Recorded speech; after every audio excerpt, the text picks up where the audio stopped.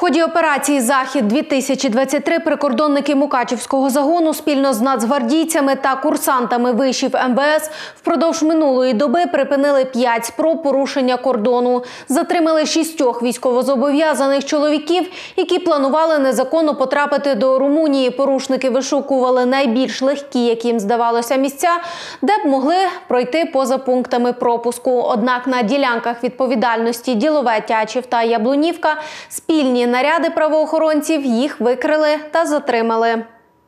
Щоб потрапити до сусідньої країни, троє чоловіків приїхали з Київщини, решта з Вінниччини, Запоріжжя та Чернігівщини. З метою з'ясування усіх обставин та складання протоколів про вчинення правопорушень затриманих доставили до прикордонних підрозділів. Наразі оперативники Мукачівського прикордонного загону встановлюють коло осіб, причетних до організації незаконного переправлення осіб через державний кордон.